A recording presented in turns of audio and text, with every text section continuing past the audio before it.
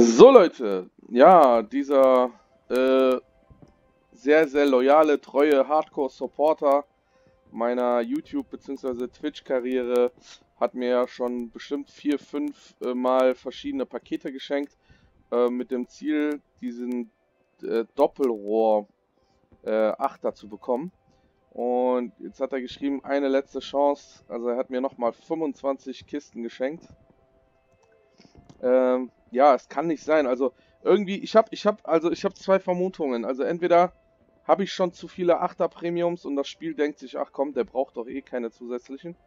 Oder ja, äh, diese Doppelrohr-Dinger waren wirklich nur die ersten ein, zwei Tage äh, als Lockmittel gedacht. So, jetzt habe ich 25 Stück bekommen von ihm nochmal. Vielen, vielen Dank, sehr, sehr großzügig. Er hat mir auch schon Mauerbrecher, VK äh, als Premium-Panzer geschenkt und jetzt die letzten Wochen mehrere solcher Pakete. Und jetzt machen wir mal zusammen 25 Kisten auf. Also, das sind Mondkisten. Kiste Nummer 1. Schauen wir mal. 1250 Gold. 1250 Gold. 250 Gold, 7 Tage Premium.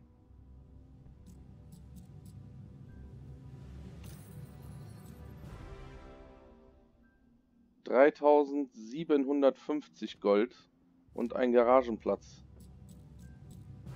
250 Gold, ein Tag Premium.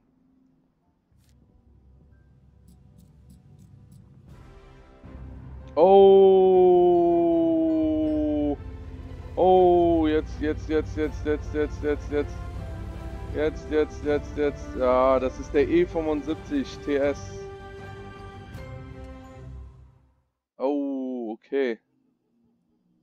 E75 TS, ja, immerhin, ne? Immerhin. Geil. Ein Achter war drin. 250 Gold, ein Tag Premium. 250 Gold, ein Tag Premium. 1500 Gold, ein Garagenplatz. 500 Gold. 250 Gold, 100.000 Credits. 250 Gold, 100.000 Credits. 1500 Gold, ein Garagenplatz.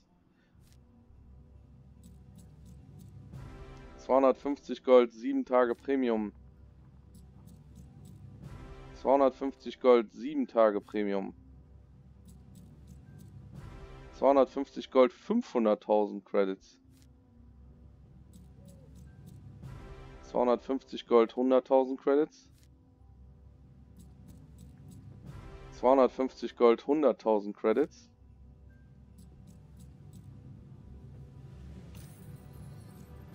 Zweitausendfünfhundert Gold. Ein Garagenplatz.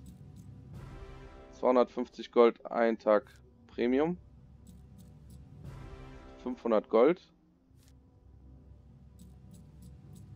250 Gold, 7 Tage Premium.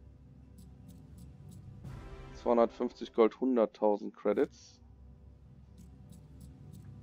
250 Gold, 3 Tage Premium. 500 Gold. Ja, meine Damen und Herren, ein 8er Premium der E75 TS war drin, aber der Doppelrohr war nicht drin. Aber wir wollen ja nicht undankbar sein, ganz im Gegenteil. Ich habe ja jede Menge Gold bekommen und den E75 TS. Ja, der Doppelrohr sollte nicht sein. Äh, ich habe ja insgesamt, ja, lass mich nicht, äh, ja, ich habe ja die Videos online. Also ich denke mal, ich habe ungefähr, ungefähr an die 200 Kisten äh, im Laufe der letzten Wochen von Zuschauern geschenkt bekommen. Speziell auch von diesem Zuschauer sehr viele. Ich glaube, mindestens um die, keine Ahnung, 75 bis 100 Kisten waren von diesem Zuschauer. Er möchte aber anonym bleiben, das akzeptieren wir an der Stelle. Ja, und der Doppelrohr war einfach nicht drin. Ja, aber ich denke mal, ähm, wie gesagt, ich habe äh, mehrere, ich habe ja den Progetto bekommen, ziemlich am Anfang hier, diesen Progetto. Äh, äh, Premium Panzer habe ich bekommen, dann jetzt E75 TS habe ich bekommen in den Kisten. Äh, mit Gold habe ich mir den AMX CDC gekauft, weil es waren ja auch sehr viel Gold in den, in den Dingern. Und gestern habe ich mir die IS-6 gekauft. Also man kann hier auf gar keinen Fall undankbar sein. Vielen Dank auf jeden Fall an diesen Zuschauer. Ich habe jetzt ca. 74.000 Gold auf der hohen Kante. Ich denke mal, ich werde mir jetzt noch äh, ein, zwei äh, verschiedene 8er Premium kau kaufen. Aber ich will mir ein bisschen Zeit lassen. Und äh, in der Zeit werde ich den E75 TS hier ausrüsten. Und vielleicht mal ein Ründchen für euch Let's Playen. Ja, dann wollen wir mal.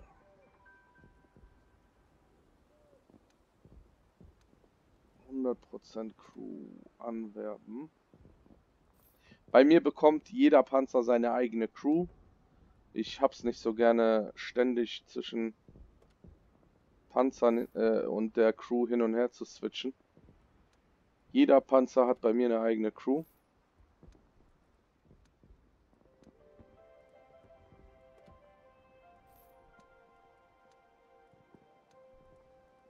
So.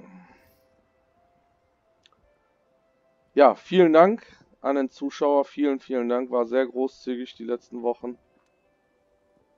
Wollen wir mal schauen. Sechster Sinn, klar.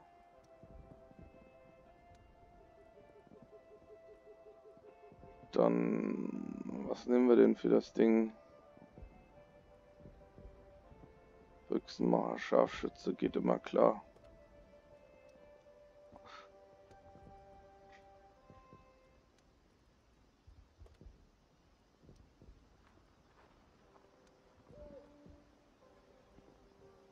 Weitsicht geht auch immer, klar, kann man machen.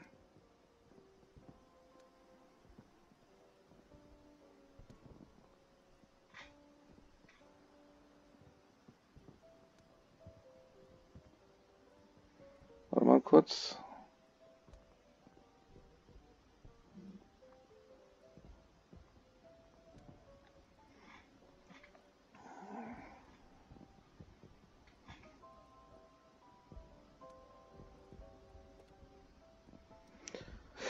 Ja, dann Module. Was bauen wir denn da rein?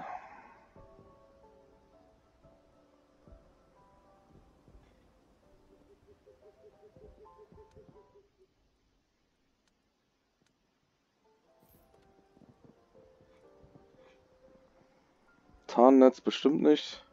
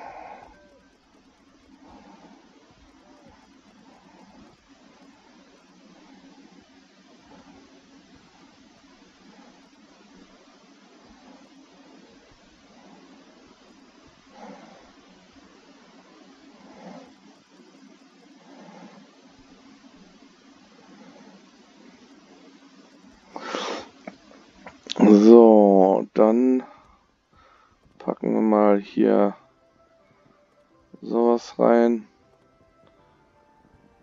Annehmen, okay.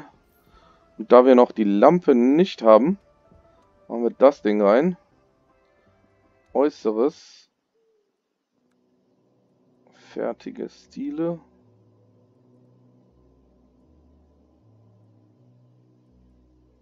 Okay.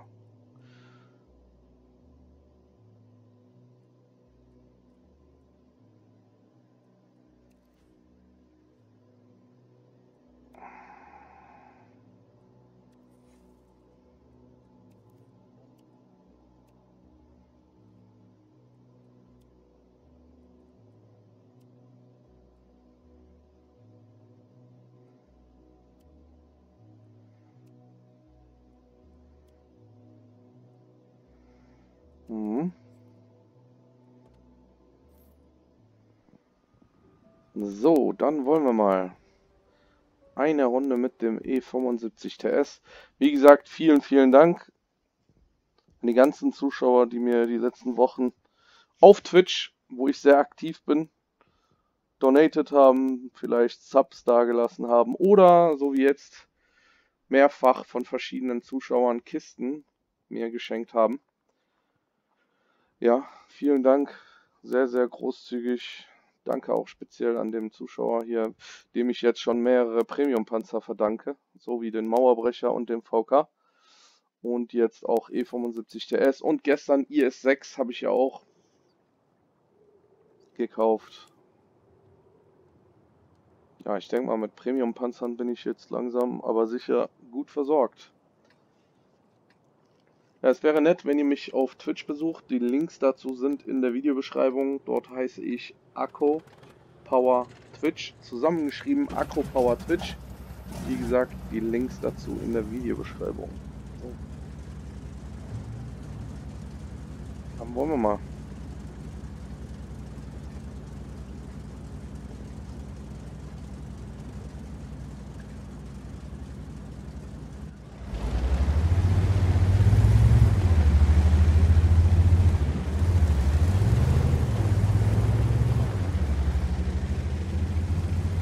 Mal schauen, was die Kiste denn so kann.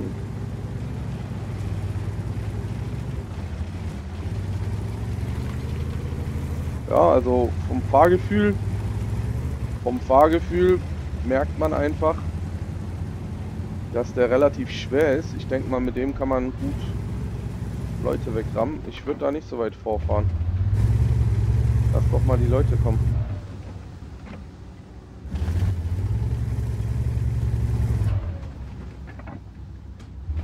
Ja, die Crew ist jetzt halt nicht die beste. Da muss man ein bisschen aufpassen. Ich würde gerne die Gegner ein bisschen weiter hinten angreifen.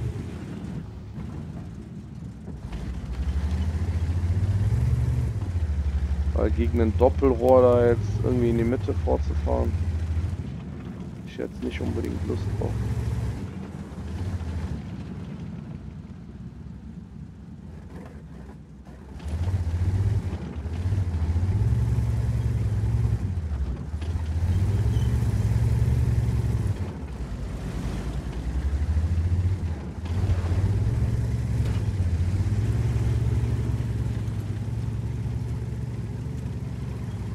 glaube, das ist klüger, die hier abzufangen.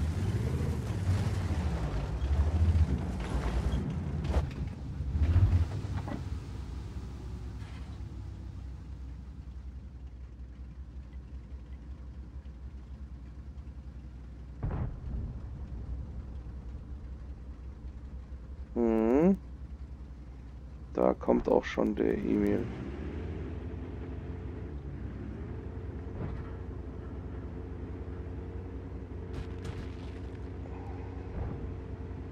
Ja, der Kollege da vorne, den wollte ich eigentlich schon längst hier zurück beordern, aber weil bei so vielen Panzern, die dort kommen, vorzufahren ist halt natürlich sehr schlecht, ne? Zumal man kann hier nicht in Ruhe stehen, weil man dann von da oben kassiert, ne? Ja. Die Leute kriegen es halt nicht hin, sauber zu stehen. Das ist halt sauber stehen, Arti safe und Kreuzfeuer safe stehen. Ist natürlich hier. Der braucht da drüben auch Hilfe. Komm schon, ey. Mann, Leute, fahrt doch bitte jetzt nicht schon wieder in den Tod, Mann. Komm. Ist doch sinnlos. Nein. Guck mal, das Problem sind, die in der Mitte kann man ja noch handeln, aber von da oben gibt es immer Kreuzfeuer hier rein, ne? Ich glaube, ich werde mal die 1er Linie ein bisschen machen, weil die 1er Linie hier, der ist komplett AFK oder was ist mit dem? Ja, das ist schlecht. Wir haben hier zwei Artis, ne? Obwohl wir zwei Artis hier stehen haben, ist hier keiner mehr der Dev. Ja. Da auf Tour.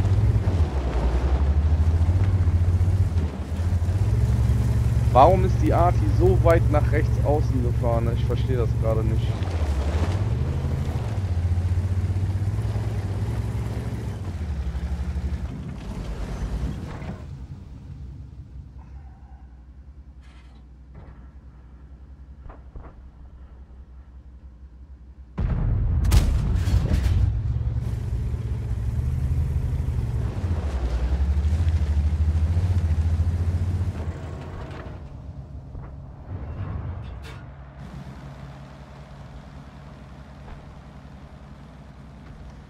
Wir haben auf beiden Seiten keinerlei Spot mehr. Ne? Der eine ist viel zu weit vorgefahren hier auf der Einserlinie. Ist natürlich dann im Kreuzfeuer weggestorben. Auf der anderen Seite der Hügel ist auch nicht gespottet und gedefft. Da sind die auch komplett durch. Und hier in der Mitte wurde sich mal wieder weggeschmissen. Wie immer.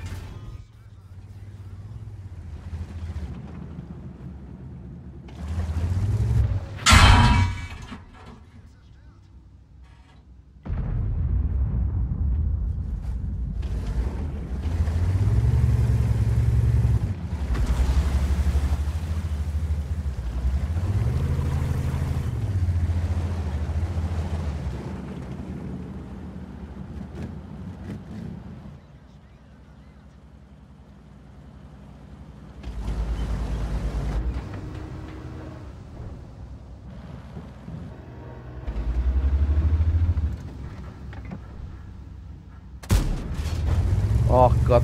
Also Zielerfassung ist katastrophal im Moment, weil ich eine sehr schlechte Kuh habe.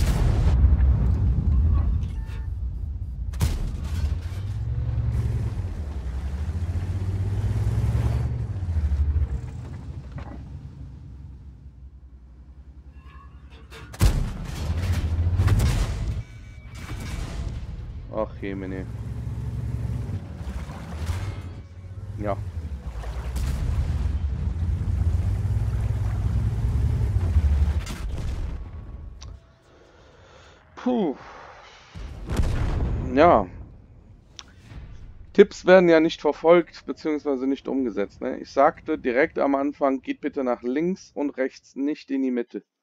Ja, wir haben die linke und die rechte Flanke verloren. Ja, und somit waren wir irgendwann eingekesselt und ich hätte wahrscheinlich auch irgendeine Flanke nehmen sollen, anstatt da in die Mitte zu fahren. Naja. Trotzdem 33.000 plus gemacht. Hm, vielleicht ein bisschen... Äh Moment, Moment, Moment. Ich brauche die Lampe. Ja, schade. Wir gucken mal ganz kurz die Ergebnisse an. Ja. Ich meine, ich habe selber nicht viel gerissen, aber da in die Mitte zu fahren ist natürlich dann sofort... Äh, Ne? Hier zum Beispiel Samor hat da in der Mitte nichts zu suchen. Ne? Der hat nicht die Panzerung dafür. Der hat irgendwo auf den Flanken zu sein und dann am Ende die Gegner in der Mitte sozusagen bearbeiten. Aber wir gucken mal. Wir haben ja eine zweite Runde. Wir gucken mal, wir schauen mal.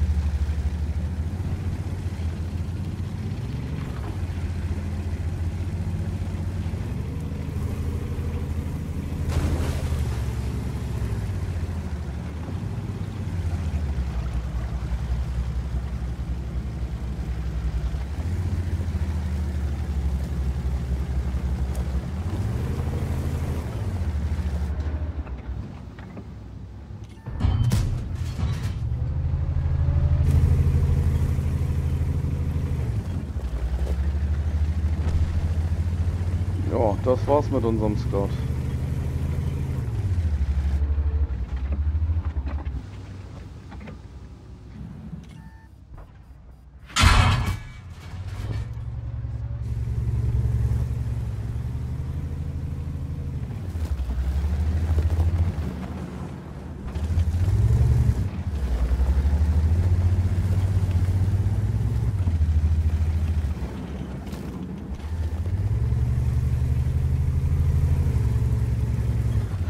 Jo, ich ich werde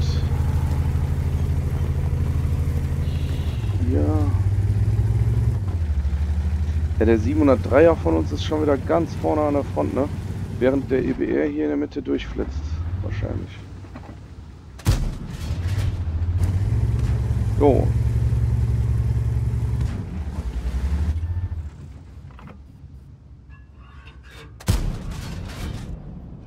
Ah, das ist schade. Der fährt jetzt durch.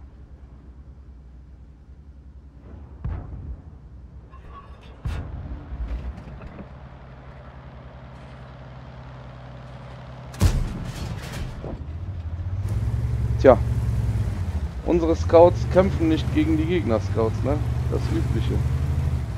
Und ich bin viel zu langsam und viel zu schwer, aber ich muss jetzt wohl gegen die antreten. Guck mal, der Progetto ist da jetzt... Guck mal, wa warum, warum chillt jetzt der Badger 12 Tonner hier, anstatt mal da drüben diesen Typen zu jagen? Was soll das denn, Alter? Ich bin noch zu langsam für so eine Aktion.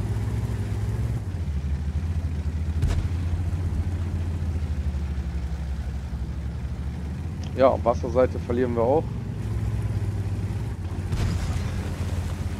Ja, unser, unser Scout scoutet halt die Mitte nicht, ne? Und dementsprechend, äh, da, dadurch, dass der hier rumgammelt, verlieren wir halt sämtliche äh, TDs und Mediums, weil da keiner spottet oder deft. Ja.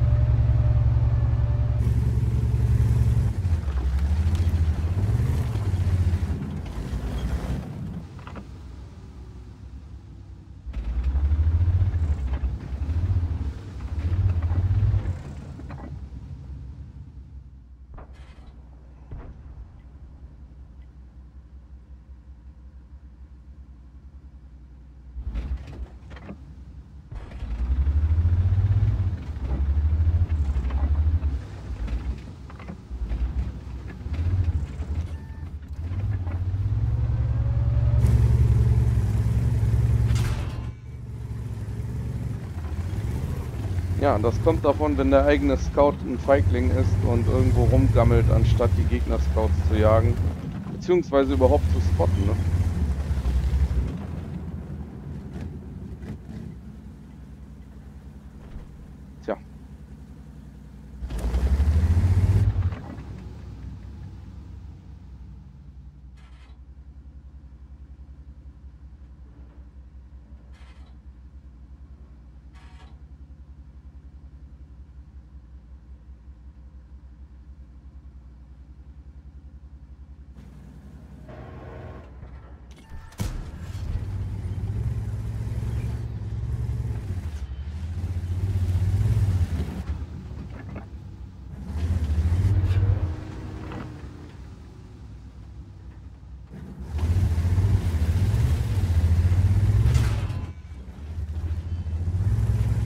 So.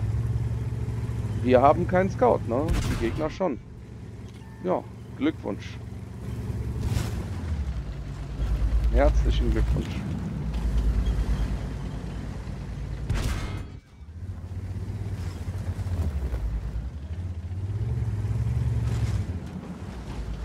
So. Das wird nichts.